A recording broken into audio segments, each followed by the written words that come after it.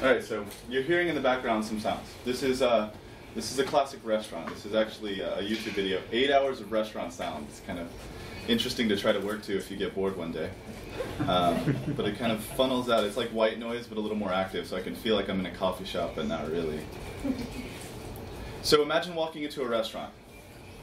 Uh, you're greeted at the door, uh, and actually, this restaurant is the Homemade Cafe here in Berkeley.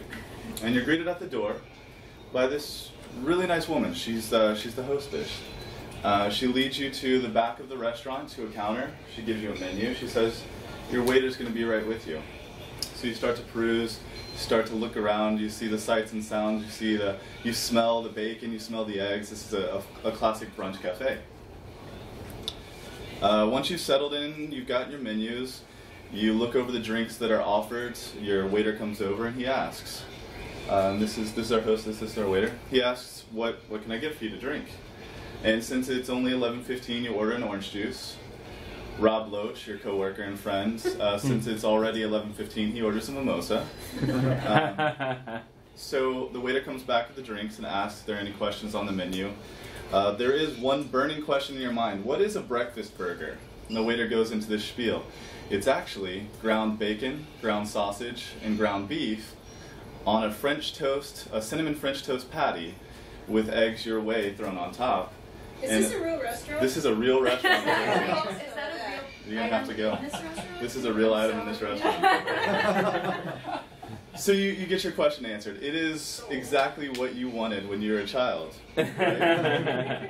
Um, so he, he describes this beautiful sandwich. You know that that's what you're going to get. Um, so you you give him your order. You watch him wander around the counter, uh, and he places his, his ticket on the little ticket holder thingy, which I've called the ticket rotating thingy. Uh, the chef then comes over, he looks at it. He's got some other orders going on, so uh, he might not get to it at that moment. Uh, halfway through your orange juice, there's a pause in conversation. You look up to see the head chef taking a step back from the grill, starts to look over the ticket rotating thingy again. He pulls a few tickets down, arranging them slightly, then starts to call them out uh, and requesting his team, um, "Hey, team, there are two uh, two pieces of French toast that I need to get you to fire. There are um, two eggs coming up. They're going to be scrambled. We've got a bacon burger coming out. We also need uh, we also need some coffee, uh, hot coffee. So you uh, you're watching this whole team work flawlessly. They're rotating in and out, squeezing by each other. They're working really, really well together, and communication is key. Uh, the support chef then calls back. The the French toast getting fired, but I'm low on powdered sugar. The the chef looks over to his busboy slash prep cook, says, "Hey, I need some powdered sugar over on the bread station." The guy scrambles in with powdered sugar, fills up these large shaking devices with the powdered sugar. With that cleared up, everybody gets back into the swing of things. When the whole order starts to come together, the head chef puts uh, puts the bacon burger on this plate that already has the French toast on. He drops in the eggs. Eh, the home fries, which smell delicious with the onions and the oregano, get piled onto the plate. He then puts guacamole, sour cream, and uh, a little bit of salsa on it because you're a glutton. Yeah, you know.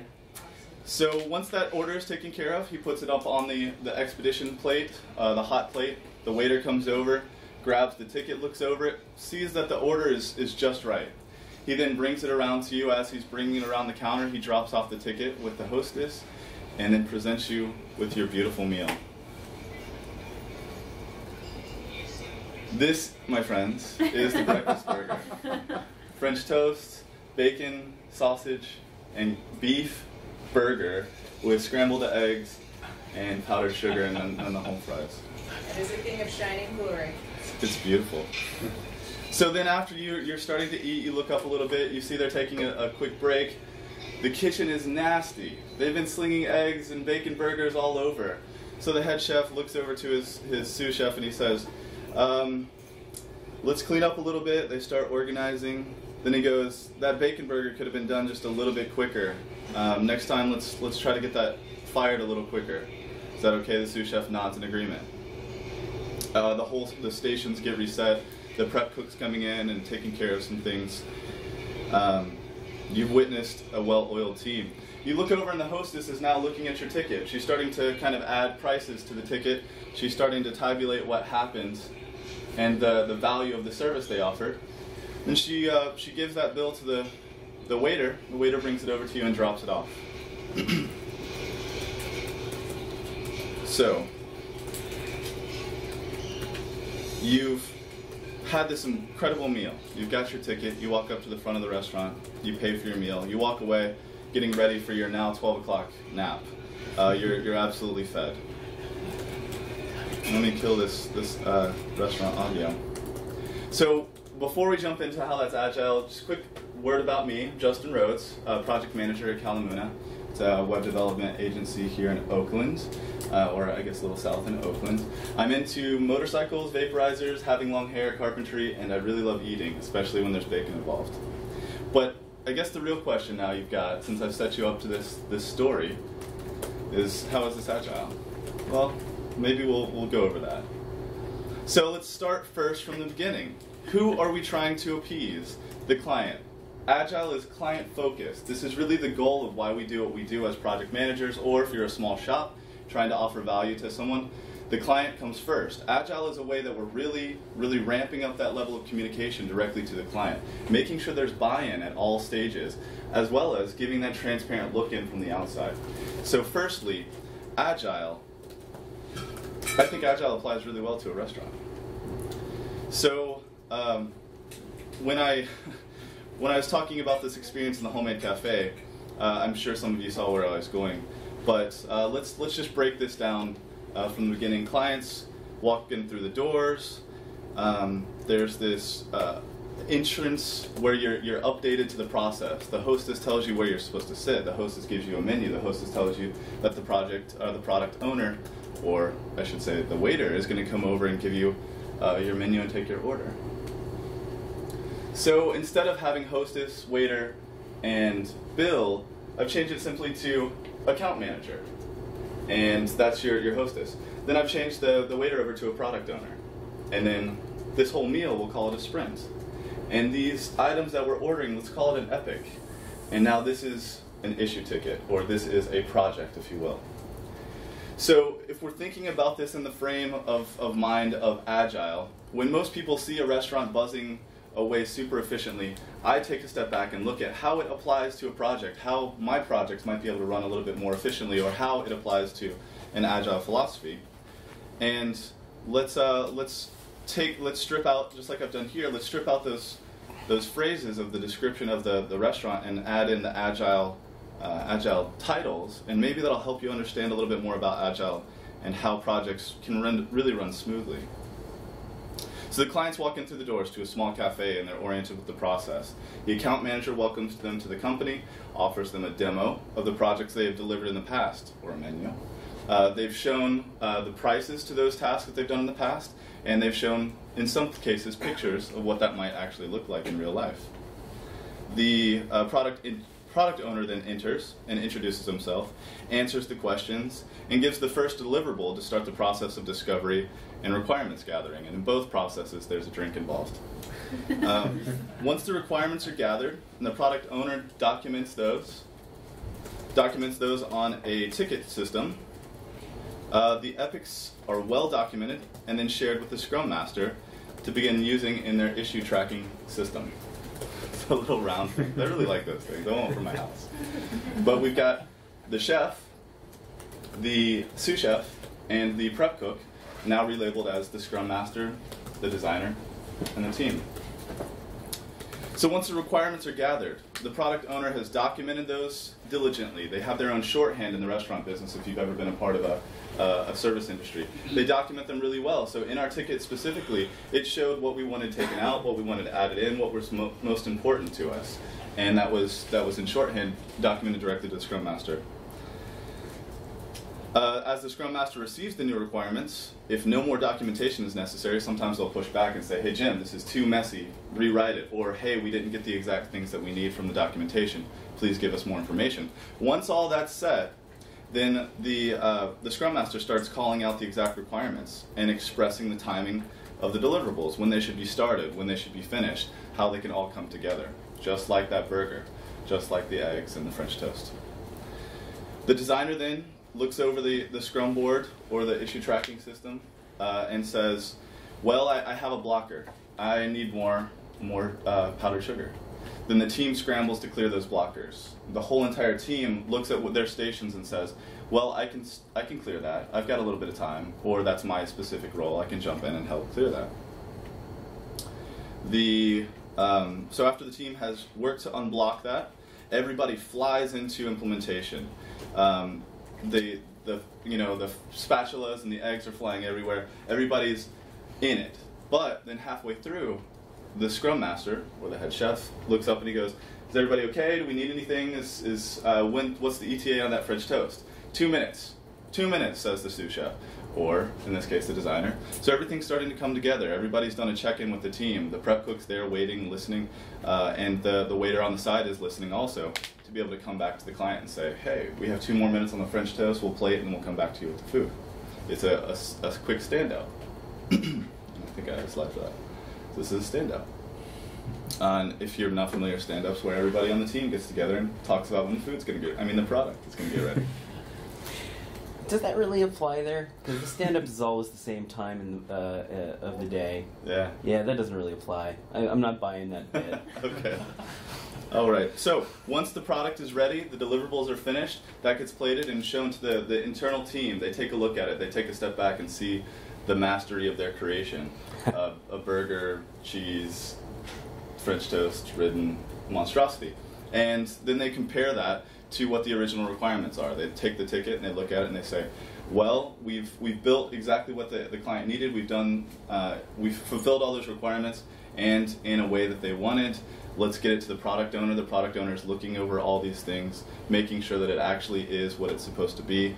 Takes the ticket off the, the ticket thingy and out of the issue tracking system, he then delivers the product to the client for a demo. This is where the first bit of feedback comes. If it if the burger is medium rare, they should be ready to take it back and make it rare or make it well done if that was the, the client's request. This is the first level of conversation. But the product owner is confident that they've done a great job, that they've they've fulfilled all the requirements. It's just the last bit of feedback that needs to go. Well, in this case, the burger was perfect. It was ready to go. So the the um, uh, the product owner then drops off the, the tickets to the account manager who tabulates all the estimates and all the delivered time, then offers the bill back to the client. This transaction is about to be done. Client pays, client well client eats, client pays, and then exits the building. This is, uh, in my mind, Matthew's not, not in Matthew's mind, but in my mind, a really good example of how agile works in a business setting. How a lot of efficient teams that you admire or that you don't see anything negative happening, they work with an agile system. Feedback constantly flowing. And the whole entire time, mind you, we as clients were able to look in, sitting at the booth, staring at the kitchen of this diner style restaurant. We were able to actually see all this happening in real time. I know for a fact that there was no spit in my burger. I know for a fact that this was built with quality, uh, quality ingredients because I saw them all happening. I saw the communication, I saw the overall estimate and time being met, this was, to me, a really good example of an agile system. and then obviously there's a retrospective. Somebody's got to clean up afterwards. So this is also another important thing. You got to clean up, you got to reset, but then figure out a way that you did things well uh, and what you can do better next time. So this is all happening while we're shoving our faces full. So what about real life? Let's talk about real life. How I've applied agile my actual daily life. Uh, in 2015, in October, I became a homeowner for the first time. And as if any of you have bought a house before, you know the first thing that you have to do is renovation. You've got to make this house a home. You've got to make it look like you imagined it could look like, and you've also got to make it work like you need it to work like. So I, being a, a little bit obsessed with project management and everything, uh, I created a Trello board. Um, and firstly, you know, you have to identify as any as in any project, whether it's waterfall or agile, you have to identify what's the project's budget, what's the timeline. And for me, my, my project budget was about ten thousand dollars that I negotiated into my, my mortgage payments or my mortgage. Uh, my initial loan. And then the timeline was a little bit shady because I was traveling a lot for work, doing speaking, doing uh, conferences uh, during the end of that year. So I was hoping that by, by early 2016 I was going to be able to move in. so you'll actually see uh, over here on the left, so I've got my icebox, which is all the things that I really wish I could that don't tell anybody, but I have a Pinterest account. That's where I found like all the cool stuff that I wanted to do, and I put it on my in my icebox. Then I've got a list that I'm actually using for a contractor that I had to have uh, do some plumbing, do some electric electrical work, and then all the stuff that I needed to do. Here's the stuff that's currently in progress, and this is real life. This is actually what I'm still doing, and then here's all the things that are done. And note this terrible Looney Tunes border that I had to completely destroy. I was like two hours into scraping off this border with like this little cowboy spur looking thing and this spread. I, I see some commiserate looks back there. Uh, I was like two hours through and I was only halfway through this like 12 by 16 room. And I thought to myself, if I burn this house down, I could, I could collect insurance money, right? Just burn it all down. Anyways, I'm not meant for this kind of manual labor. Anyways, uh, that, that room is painted and, and lovely now, hence why it's in the done category. Um, I thought that you'd added the border. oh yeah, definitely. when he has kids, he'll add it back. That's my personal preference. I dig it. So I've got this 10,000 budget. By the time that demolition on a couple of the walls, some plumbing, and some electricity was done, I had about $5,000 left. Uh, and one of my favorite agile processes that I employ pretty regularly is uh, limiting the work in progress, limiting the WIP. Um, this is a, a process. Not only do I do this with like projects and money and things that I'm spending time on, but I also do this with possessions. It's kind of kind of strange. Every possession that you have takes some upkeep, takes some time. So I kind of like take over a room and lay out all of my stuff. This is really OCD. I'm sorry. I'm just giving you part of myself. And I lay out all my stuff, categorize it, and then think how much effort does it take to keep these things? How much money, time, materials does it take to keep these things? And then I limit those things because that's literally the work in progress. If it's if it's not being taken care of, it's not going to be useful to me. So I this is a limiting work in progress. So I laid out everything that I wanted to do. I chose the projects that I was I was working on and then realized my own bandwidth, not only for money, but for time to be able to put into these projects. So I limited my work in progress and then I, I prioritized. And so that's why I've got a couple of things actually done. Instead of all of these things happening gradually, some of them had the emphasis and I was able to move forward because those were the, highest priorities.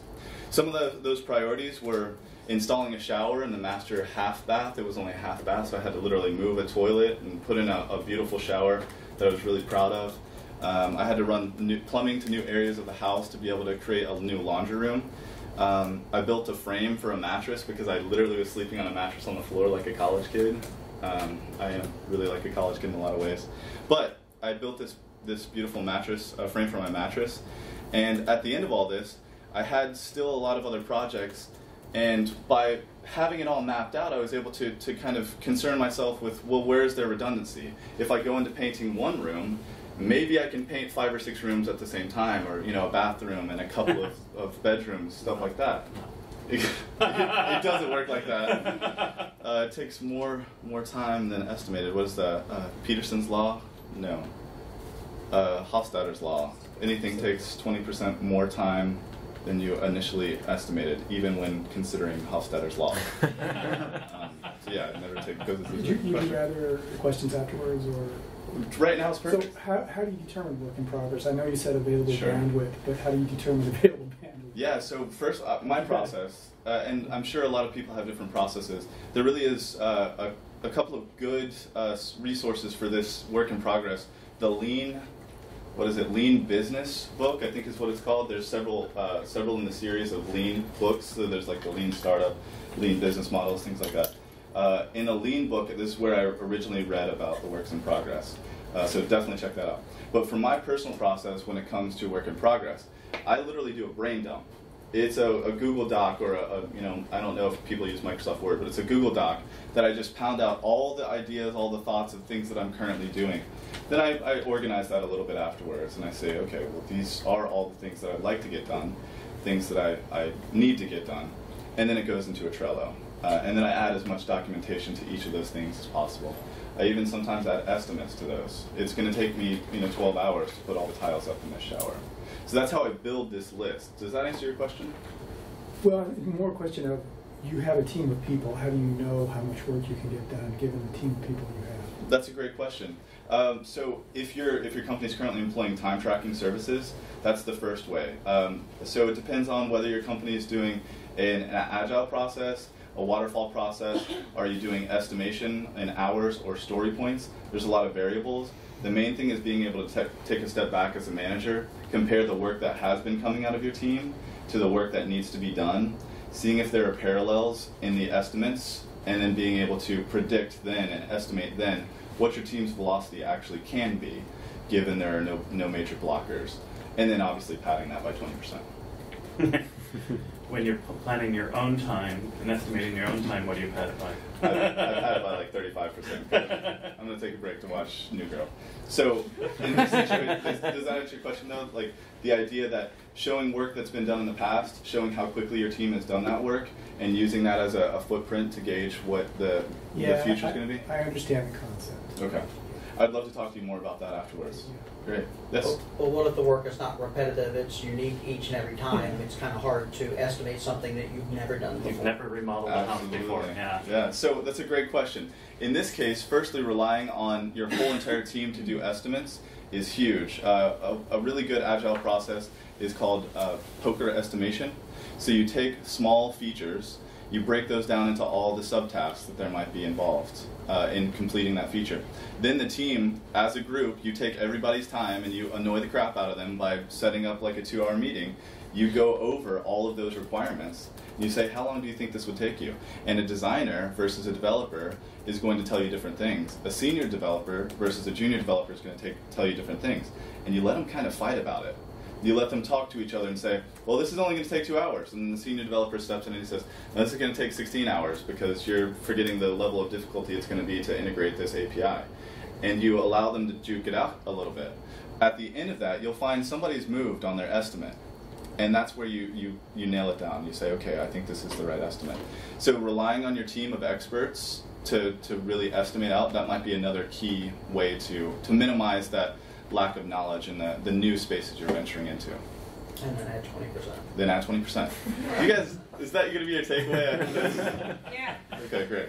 Um, so, where was I? Yeah, so with this this process, I was able to lay out everything that I wanted to do. I identified places where there was redundancy, and then I might be able to, to kind of snowball some of my efforts. Uh, but then I also acknowledged that I'm non-committal as a 28 year old single guy. I have problems with commitment, especially when it comes to wall paint. And so I started the project where I literally compiled all the different colors that I thought might look good in rooms on walls, and then chose a wall and just painted all those colors on the wall Good just to see what it would look like. Uh, so this is just a. Yellow is always yellower than you think it's going to be. It is, and this was like a gray tan, and it turned out this. The tone of this projector is a little off, but um, if you want, you can find this on my YouTube channel. But it's uh, just a fun little project. That's a Did you keep that design? 'Cause Yeah, this is actually what all of uh, all of my team and clients see every day when they chat with me on on Hangouts. This is behind. So you never picked a color? I did pick a color. So this enabled me to, to tell that like the darker blue was going to be way too. Uh, it was going to make the bathrooms feel way too small. The tans were kind of boring, so I put those in the living room, uh, and then put that in the guest room. There was a lighter blue that I used. This actual light blue here. I turned that into uh, my main color for bathrooms. So I, I have this nice little almost tar heel blue for the bathrooms because I'm in Asheville, North Carolina. Um, and then the, the dark navies were just way too, way too. Uh, felt made everything feel way too small. So I was able to choose. That's awesome. Nice. So um, the, the the main point of that is taking all the work that your team has to do, understanding where there might re- be redundancies. That's a true agile practice. I use that in my own personal life because it saves me a lot of time, saves me uh, money and materials. Um, this is something that I promised to talk about to a couple of people. I actually had some slides, some pictures of some Tinder conversations that I've had, but found out that's illegal to do. So uh, what, I, what I'll do is I'll recap some of those conversations. Um, one in particular I had, uh, it was a nice little conversation. She was she was 24. We were having a nice chat about books that we had read and had in common. Then we went out on this first date. I took her to a, a nice little bar, and Asheville has the highest per capita uh, of breweries than anywhere else in the country. Uh, so it's called Beer City USA, so we have lots to choose from. But um, we're on this nice date. I felt a little apprehension. She warmed up. We were fine. After the date, I dropped her off at her house, and I start my usual terrible necessity for a retrospective. So the texts go along the lines of, "Hey, I had a great time. I hope you did too." I'm just digging. Like, go ahead, give me the feedback. She says, "Yeah, I had a good time too. Thanks so much." I said, "Yeah, I, I you know, shaved since the last time. Uh, I hope that wasn't awkward to walk into a date with a guy with a huge beard." And she goes, "Yeah, I was expecting the huge beard. I really like beards." Note to self: set expectations better next time in your Tinder profile pictures. If you have a beard in your Tinder, probably should have a beard in real life. So these kinds of conversations really help. I think if you apply these kind of conversations to your your married life or with your significant other, they also help. Retrospectives on fights is actually a thing that some of my coworkers do. When they have knockdown, drag out fights, they cool off, they take a second, they realize how they communicated well, and they also realize how they could have communicated better. One of my friends actually came to a conclusion that him and his girlfriend they need to sit down on the bed and hold hands when they're when they're arguing with, with each other because one of them is very very large and kind of scary in his stature and he might have a tendency to, to bully in those situations and she will kind of shrink away so if they're sitting on the both the same playing field they can uh, they can talk in a civil manner this is this is how people can deal with their, their personal issues too. Retrospectively looking at what you've done and how you can do it better uh, and how you did it well. So uh, other stories. Um, let's see.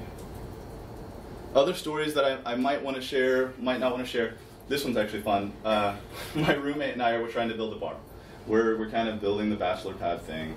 Uh, he's, he's a world class bartender. He actually has gotten a couple of awards, and he's really good at a game we call MacGyver drinking, where he wanders around the house and finds random items to put into drinks, and it usually turns out incredible, sometimes terrible. But uh, one drink ended up being a Reese's peanut butter bourbon shake, where there was. I turned around at one point, and he was shoving organic peanut butter into a shaker cup, then cracking eggs into it. And I'm like, what the hell are you doing? And it turned out to be uh, Basil Hayden bourbon with honey, almonds, peanut butter, and That sounds good. uh, there was uh, egg white, heavy cream with a little bit of soda water, so it fizzed just perfectly with chocolate shaved on the top. It was incredible. It was absolutely incredible. Huh. But what we, we do in this bar, trying to build this bar, we're, we're both kind of, you know, looking to save a little bit of money. So we've planned out all the things that we need. We set up our priorities. We created a list, a backlog of items that we wanted to accomplish, features, if you will. And then with those lists of drinks, it was actually drinks that we identified as being our priorities. We then broke those down into the ingredients or subtasks. What do we need to purchase in order to make this bar actually functional? So as we kind of went through this process, we realized bourbon was in most of our drinks, that there was some soda water in most of our drinks, there was lemon, simple syrup. So all these items were pretty simple to purchase, and then we were able to build this kind of backlog of drinks that we could we could purchase just a couple of bottles and make a plethora of drinks. Uh, so we approached it in kind of an agile manner. In that we did a planning session, we had conversations, we did stand-ups about where we were with our money that we were going to put towards the bar, and where we were with buying those actual items. We then came to our friends with these actual drinks that we had purchased and then made, and asked for feedback because they in the end were going to be the clients, the the um, users. And then we kind of cycled through this feedback process and built a really nice little bar that has to date a total of $300 worth of, of bottles, but we can make over 200 drinks. Um, it's, it's really nice. You just have to buy fresh lemons every single time.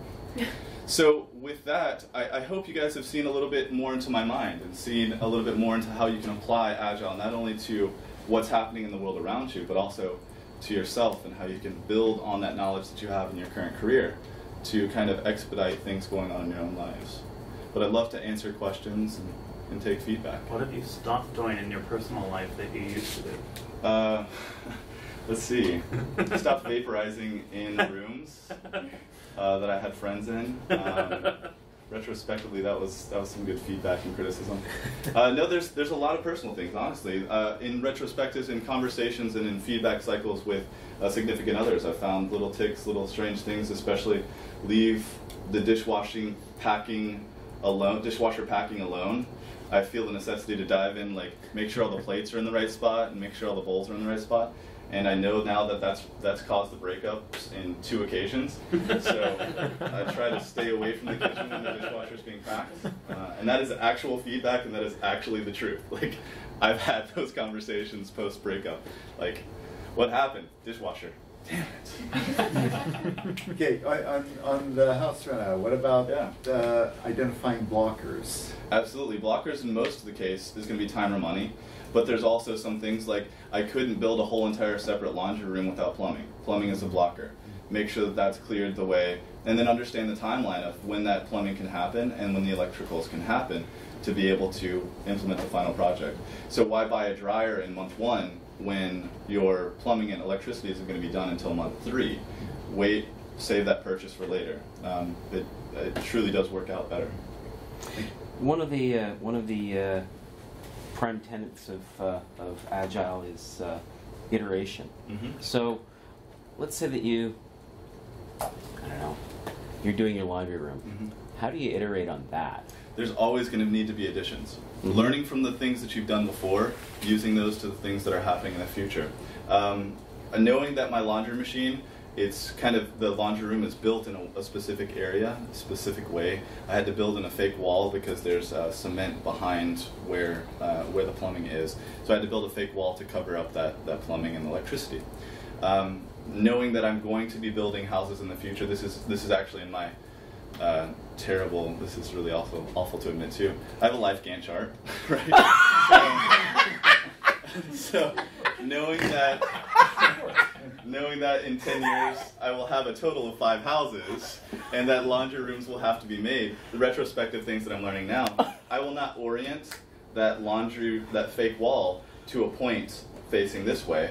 I will orient that so the fake wall accepts the laundry machine into it. Uh, these are these are iterative. In some cases, there are projects that you ship immediately that do not have that feedback cycle to a second sprint or second stage, but uh, that is that is part of the iteration. Ar- archive those Gantt charts and look at them in 10 years. I hope to. I, I kind of imagine my project manager life as a big art show. Uh, I, you know, I, I told one of my developers the other day that as I'm looking over his timesheets, I can tell what's happening in his life.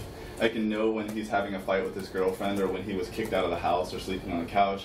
I can know when he's like, and that means he's coding at two o'clock in the morning Mhm. because he's just pissed off, and then his code comes out and it gets pushed back for like two or three revisions before a poll happens.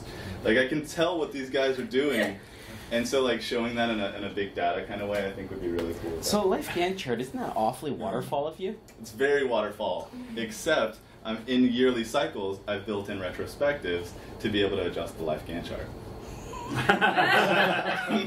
I see you, Matthew Saunders. I see you. and that's on your birthday. Yeah, it's on my birthday. It's actually, it's actually, uh, it's actually the weekend after my birthday. Usually, I take off into the woods for three or four days. I uh, about in, after 2008, I suddenly was living alone. I could do whatever I wanted to my house, and I was like, "Whoopee! I can start all the projects."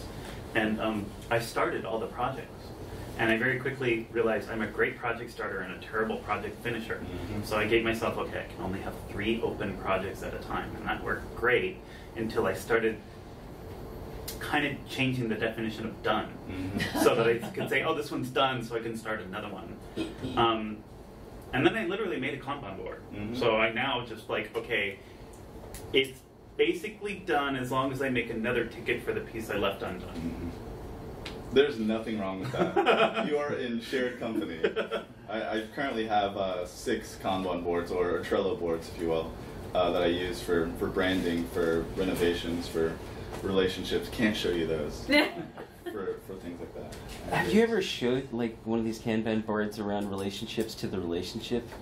Don't, don't do it. I, I dated an agile coach for a little while, and yeah, still don't. don't Yeah, don't do it. it's a terrible idea. it's awful. Uh, it's also a really terrible idea to try to try to vet all of your options in the same rooms and come up with like value propositions with four girls at the same time. It's a terrible idea. Terrible idea. Terrible idea. What other questions do we have, guys? Oh, Justin, I love you. Yeah, what's up? Um, I don't know if you have an answer to this, but uh, maybe some advice. Sure. One of the things I struggle with is trying to get clients to, who have traditionally done the waterfall, Mm.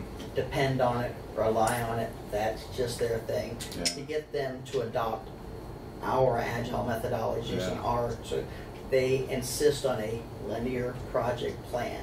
Mm. So as a specific example, things like mock-ups. Yeah. They want mock-ups on a certain date Mm. and they want to check and say we approve it or not approve it, whereas we're, I, I struggle and I'm looking for, and this is Yeah. to anyone, advice of It's a safe it's an iterative process, like, tell us some things, we'll throw a couple of your way. Oh, well, I don't like it on the right, I'd rather you drag it down to the left and put this up. That Mhm. iteration, they don't seem to get it. I struggle trying to make them see they want a deadline because they have to get it approved by some vice president, they want, and sometimes, you know, I can give general deadlines, but that iterative process, I can't get them to grasp that. Do you have any advice? Have you documented your your your uh, your process? Do you have it written down in a in a friendly way with big big graphics? And was delivered with the contract of this is our standards, but, So you put it into the contract. yeah.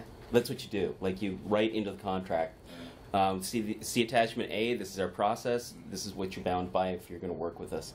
Um, and uh, And it's just Usually- hard to enforce. You know, you Yeah. don't want to lose the customer to a certain extent, but at the same Yeah. time, when they say, "Well, that's not what I understood," well, Mhm.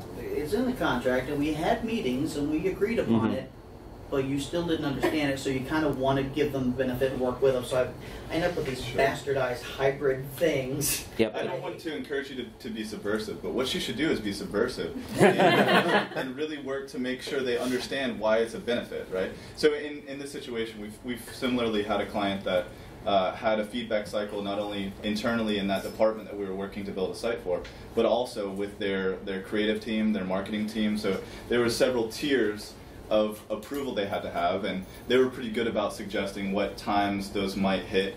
You know, we might go over on this this deadline because we're in this approval process, and uh, you know, Sharon from marketing takes like 16 weeks to actually get approval. So we we have had those clients before, and that does expedite the process of, of iteration. It kind of makes you only take a couple of swings at it before really nailing it down before it gets shipped off through the, the whole waterfall process on your client's end. Um, so my suggestion to you is pull in those stakeholders that might be blockers on their side. Yep. Have meetings with them and show them the work, but educate them in that, hey guys, these are these are just wireframes. We did mood boards for you. You liked the colors, you liked the fonts, you liked what was happening. Now we're doing wireframes. These aren't set. These aren't the pixel perfect images of what's going to happen on the site. But we want to make sure that you're familiar with the, the you know the phrasing or not even phrasing with the the way things are organized on the page, where those things go make it a slow process and make sure they understand it is a slow process, that it moves parallel uh, or even tangential to your development process. It's not representative of how the overall project is working. And that's why, you know, having a demo of the functionality of a site and then having the pretty things happen afterwards and showing off those wireframes might help. But really pulling in, roping in those stakeholders in those big meetings to get their feedback in real time, that's been hugely useful. Not only do they feel like they've got buy-in immediately, but they also give feedback immediately, so you don't have to wait two, three, 17 weeks before you get that feedback loop closed. I can't always get the highest end stakeholders because they have intermediaries. Yeah, supposed to be, that- when they're not willing to take the risk to say I approve or disapprove, I have to run that up. I with completely understand that. yo-yo, and it's, Yeah, is it so bad practice? I'm guessing that this is, is governmental or educational or, or some. So when you're in those situations, the people that you're dealing with as as the quote unquote product owner, they truly are afraid for their jobs, right? Another company has now been brought in to do what they're supposed to be doing with their job, and they're they're really clinging to control over that. And my I, I've taken product owners aside in private conversations and said, listen, I really want to make you the hero. I want to make you look like a badass to all your coworkers. They're going to see that you're in control of this project because I'm going to keep you up to date with every single step. And on top of that, we're going to deliver something that's going to knock everybody's socks off because they've been able to see this process unfold. But when that final reveal comes, they're not going to be surprised. They're just going to know it works. That that kind of conversation really empowers you to say, "Hey, let's pull in those other stakeholders. Let's get them in here because we need to show off how much cool stuff we've been doing with your help."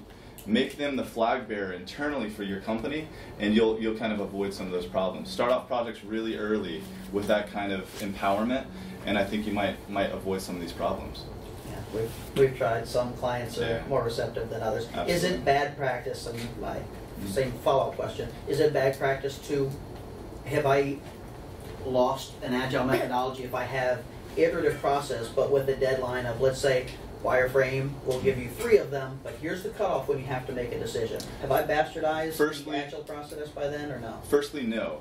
Secondly, did it work? I'll let you know. So if it works, then it's not a bastardization. Agile is not just a noun, right? Agile is an adjective. Nobody can really say they practice full agile if they're constantly holding themselves to these rigorous standards of agile, right? The idea that you can iterate, that you can move with agility being the main word through these crazy chaotic systems of other other companies and clients. That's really why we do what we do. These are guidelines. This is the pirates rules.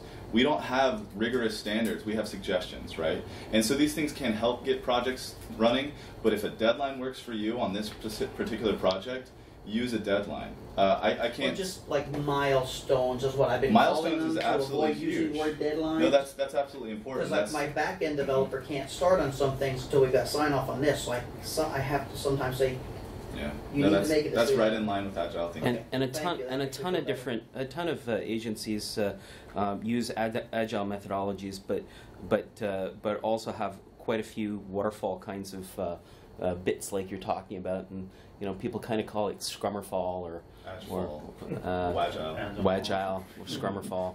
Um, that's kind of what was, sounds like what we're doing. yeah. But I'm trying to keep mentally to Yeah. that and try to keep efficient because, yeah, what we end up doing is you're just making the project longer. Yeah. And I could be a jerk and go, okay, we'll just keep building. You know, I mean, you're the one dragging it out, making it longer. We could have done this faster, or cheaper for you, but Time and materials. but I don't like taking that approach. That, that's also a good point. Depending on your billing, that that might be a better perspective. The milestone, if if for instance it's an RFP, uh, it's a fixed bid, then milestones is pretty important to be able to express. Uh, for instance, you know the the three-legged stool of marketing or of development. There's we can do it pretty. Uh, and really high quality. We can do it cheap or we can do it fast. You can choose two, but you can't have all three. Right. If your client has identified that timeline is the most important thing to them, setting milestones is absolutely uh, in the cards for agile, waterfall, any kind of project management. You have to do that to be able to report back. But in other situations, if timeline wasn't their biggest concern, if it was money, if it was quality, then maybe those milestones would be a little more loose. Uh, but still, I, I try to stick to, to my milestones pretty hard because once again, you want the trust of the stakeholders. And if you're not delivering to them in a demo that something that you said you would, uh, then that trust starts to wane. The other cool thing is if you can get the client to buy in, and you are are you're, you're, you are managing to uh, to deliver working software at the end of each sprint that you can demonstrate to them, that you can show them show them how things are working. Um, that that's that's a huge win. And uh, you know when I'm when I've worked in in uh, in um, agency land, what we would do is uh, is build prototypes and use those prototypes to, to get quick feedback and then uh, iterate on those prototypes that actually becomes the final product uh, eventually. But um, and that can often get their minds to just go click. Oh, I see. I get it. Awesome. We've done that. We're at time, guys. Uh, thank you so much for joining me. If you have any questions, I'm on, on Twitter at the Justin Rhodes. Uh, you can find me at all social medias at that tag also. Thank you so much for coming.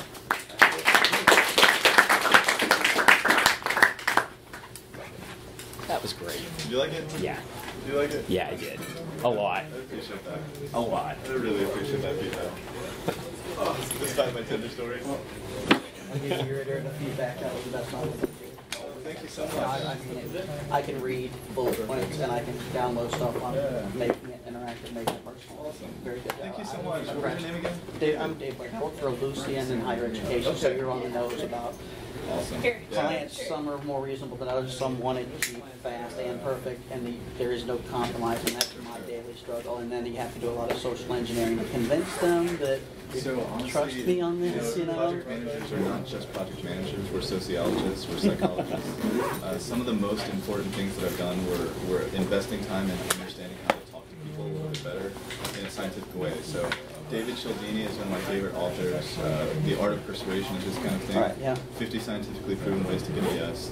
These are really instrumental ways in how I handle people, and getting clients to be internal stakeholders is really important to me. So. Yeah, I, um, I'm, the, the secondary thing is I don't have a dedicated project manager.